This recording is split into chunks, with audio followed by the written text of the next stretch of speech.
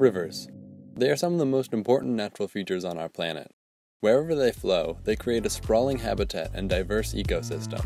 For humans, they bring fresh water from distant lands, rich with sediments to make soils fertile, and provide an artery of transportation throughout a land. It's for these reasons and more that many of the first civilizations in history, including Egypt, Mesopotamia, the Indus Valley Civilization, and China, all formed around rivers. With the Egyptians settled around the Nile, the Mesopotamians around the Tigris and Euphrates, the Indus Valley founded, of course, around the Indus River, and the Chinese established themselves among the Yellow and Yangtze rivers. And all these civilizations flourished as a result, and even today, rivers play an important role in determining where people live and where cities form. It's no coincidence that most major cities and highly developed areas exist with a river nearby. You can even see some rivers at night from space, solely because of the urban landscapes surrounding them.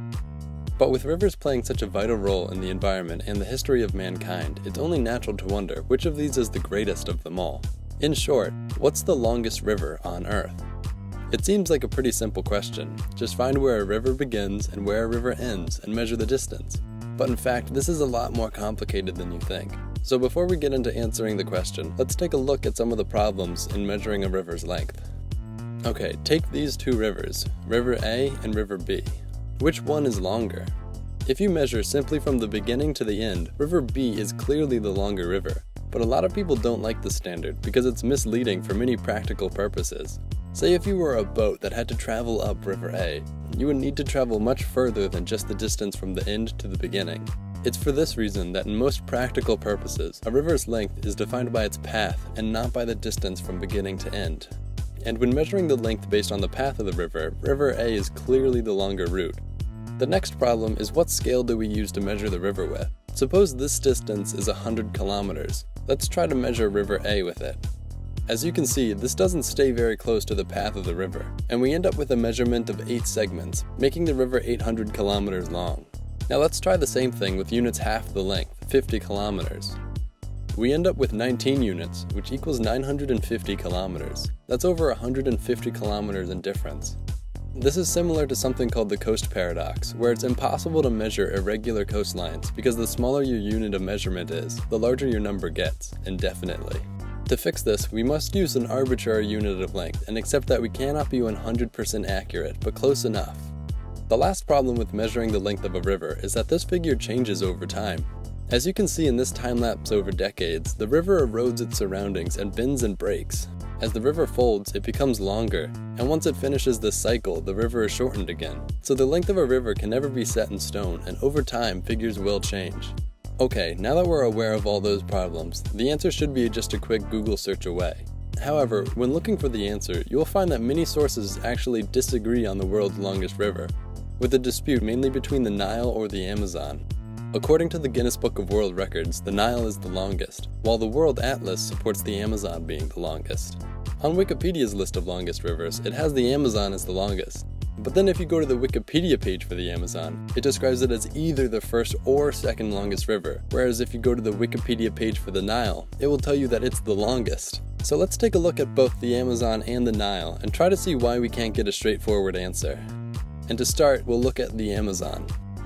This river is massive in every way possible. By volume, the Amazon puts out roughly 209,000 cubic meters of water every second into the Atlantic Ocean. For some context on how much that is, it's roughly the volume of Grand Central Station in New York every second. That's more water than the Nile, Congo, Ganges, Yangtze, Lena, St. Lawrence, Mississippi, and Mekong rivers combined, with plenty of room to spare. In fact, water from the Amazon makes up around 20% of all the water in all the rivers in the world. Its drainage basin is also the biggest in the world at 7 million square kilometers. That's roughly the area of four Alaskas or 10 Texases draining into a single river.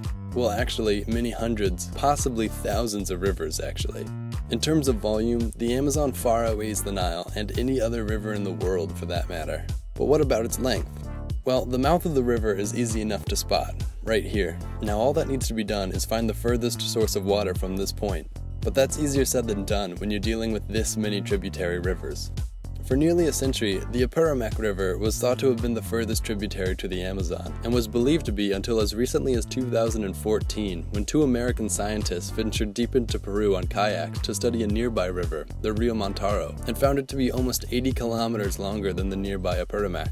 From its start at the Cordillera Rumi Cruz, the Rio Mantaro runs for around 700 kilometers until it joins with the Apurimac, from there, the two rivers form the Ene River, which flows for another 300 kilometers until it joins the Parin River to make the Tambo River, which shortly after joins the Urubamba River to make the Ucayali River. This river, by the way, is the one from the satellite time-lapse shown earlier. From the Ucayali, it's another 1600 kilometers until it reaches the Marañon River, and this is where it officially becomes the Amazon River and travels for another 3000 kilometers to the ocean. This trip from the Rio Mantaro to the ocean following the path of the river has only been made three times, the first time being by the Americans who discovered it, and then by two other groups after the news broke. And in total, this puts the Amazon at 6,992 kilometers long. Amazingly, this is roughly the same length as the Great Wall of China. However, if we measured from this point straight to the mouth of the river without taking the path into account, it would roughly be only 3,000 kilometers, less than half the distance of the actual river. Okay, so that wasn't too bad. Now, onto the Nile. And this is where things start getting tricky. The question of the source of the Nile has been around for thousands of years and remains unanswered to this day. The ancient Egyptians were the first to send expeditions with hopes of finding the Nile's source, and since then, many attempts throughout history have been made to find the source of the Nile, with each one only adding more confusion and disagreement into the mix. So let's start at the beginning, and by that I mean the end. Here's the Nile's delta, where it pours into the Mediterranean Sea. This land has served as some of the longest and most important farmland in the history of the world, and it managed to feed all of the Egyptian Empire, as well as several others, and it was even called the breadbasket of the Roman Empire. Today, nearly all of Egypt's 96 million inhabitants live by the shores of the Nile, and it's some of the most densely populated land on planet Earth. However, despite its size and notable agricultural importance, and the third largest drainage basin in the world, the Nile's discharge is only around 2,800 cubic meters. Compared to the Amazon, that's only 175th the volume. In other words, that's way less. Starting from the delta, it's around 2,400 kilometers before the river splits in any notable way. But here, the Nile divides into the Blue Nile and the White Nile. The Blue Nile flows off for another 1400 kilometers into the Ethiopian highlands until it reaches Lake Tana. This is where the Nile receives 90% of its water and 96% of its sediments. However, these only come during the rainy seasons in Ethiopia, and this source will occasionally dry up completely in the dry winter season. So this is not the source which keeps the Nile flowing throughout the year. So while the main source of the Nile is quite easy to define and measure, there's still the problematic White Nile, which supplies water year round, and this is where things get interesting, if they haven't already. After the White Nile splits from the Blue Nile, it continues further south until it reaches a vast wetland region known as the Sud, which is very important to understand the history of the Nile exploration. The Sud derives its name from the Arabic word Sud, which translates roughly to barrier, and it certainly is. This is one of the largest swamps on Earth, and some of the toughest terrain to travel through. This is one major reason why the source of the Nile remained unreachable to early explorers. In 61 AD, the Roman Emperor Nero commanded a legion of soldiers to follow the White Nile to its source, but they were unable to make it through the Sud and had to turn back. This swamp is so impenetrable, in fact, that even more recent expeditions have had difficulty making it through, and to avoid trudging through the Sud, explorers now will usually take a route from the east coast of Africa to the end of the Sud instead of going through. But now we have satellites and airplanes, so that's not really a concern. Through the Sud, the White Nile continues into Lake Victoria, the biggest lake in Africa. And that should be it. The source of the Nile, furthest from the mouth, is right here, right? Well, not really. So Lake Victoria becomes the Nile here, so that's the first place people think of pegging the source of the Nile to be. But then some people say it should be the back of the lake, the furthest point from the Nile technically. But then other people try to compromise and put it at the geographic center of the lake. But no matter where in Lake Victoria they say it is, they're still wrong. You see, Lake Victoria is fed by rivers itself, and therefore the source of the Nile isn't just the lake, it's these rivers which feed the lake. Among these rivers, the Kagera River has been identified as the longest feeding into Lake Victoria, so it gets added to the length of the Nile as well. Just a quick note before we continue, there's also a disagreement if a river's length through a lake should be measured based on the length of the coast between the Nile and the Kagera, or the shortest distance between the two rivers. Measuring the coast would add significant kilometers to the length of the Nile, compared to straight to the Kagera. So it's unclear from here on out, and really depends on what people want to count as the length of the river.